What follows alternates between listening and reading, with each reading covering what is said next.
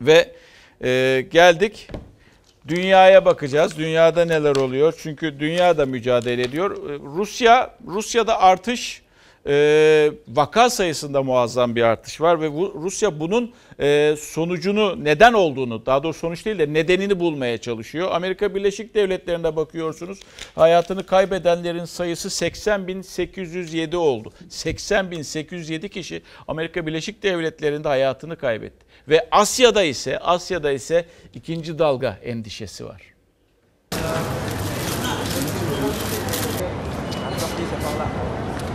Avrupa'da normalleşme süreci hızlandı. Birçok ülkede okullar ve iş yerleri yeniden açıldı. Amerika'da son 24 saat içinde ölümler yarı yarıya düştü. Asya kıtasını ikinci dalga endişesi sardı. Covid-19 salgınıyla mücadele eden ülkeler kısıtlamaları hafifletiyor. Normalleşme süreci tartışılırken dünyada can kaybı 285 bine yaklaştı. 4 milyon 200 bin kişi koronavirüse yakalandı. 80 bin can kaybının yaşandığı Amerika'da son 24 saat içinde 751 kişi yaşamını yitirdi. Bu rakam bir gün önce 1417 idi. Avrupa'da en çok ölümün yaşandığı İngiltere'de Başbakan Boris Johnson normalleşme için yol haritasını açıkladı. İlk olarak inşaat ve fabrika çalışanları işe dönecek. Halk parklarda güneşlenebilecek, açık havada spor yapabilecek. Fransa 53 gün sonra sosyal mesafe kurallarına uyma şartıyla serbest dolaşıma izin verdi. Toplu taşımada maske takmak zorunlu hale geldi. Kreş ve ilkokullar isteğe bağlı olarak açıldı. İspanya'da sıkı tedbirleri hafifletti. Restoranlar yeniden açıldı. Virüsün etkisindeki başkent Madrid ve Barcelona'da kısıtlamalar gevşetilmedi. Almanya'da iki hane halkının buluşmasına izin çıktı. Hijyen ve sosyal mesafe kurallarıyla tüm mağazalar müşterilerine kapılarını açtı. Yunanistan normalleşmenin ikinci aşamasına geçti. Parakende mağazaları ve liseler açıldı. Kısıtlamaları kaldıran ülkelerin aksine Brezilya'da gidişat kötüleşti. Can kaybı 11 bini aştı. Salgını daha önce ufak bir gribe benzeten devlet başkanı Bolsonaro sosyal mesafe kurallarına aldırış etmedi. Gölde jet ski kullandı. Asya ülkeleri için salgında ikinci dalga tehlikesi büyüdü. Güney Kore'de vakalar bir ay sonra artmaya başladı. Başkent Seul'de son 24 saatte 35 vaka tespit edildi. 29 hastanın gece kulübüne gittiği ortaya çıktı. Çin'de de benzer bir artış yaşandı. Salgının çıktığı Wuhan'da 3 Nisan'dan beri ilk kez vaka görüldü. Ülke genelinde ise bu sayı 17'ye yükseldi. Şulan kenti karantinaya alındı.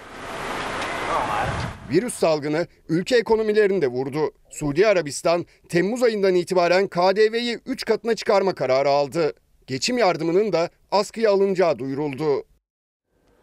Bu arada işte kimileri KDV ile ilgili e, düzenlemeler yapıyor, vergi ile ilgili düzenlemeler yapıyor vesaire. Ek vergi geldi. Altın, mücevher, buzdolabı, çamaşır makinesi, klima ve birçok başka ürüne ek gümrük vergisi ek gümrük vergisi getirildi. 30 Eylül'e kadar %30 olarak uygulanacak vergi sonrasında %25'e düşürülecek ithal ürünlerde ya yani ithalden bahsediyoruz gümrük.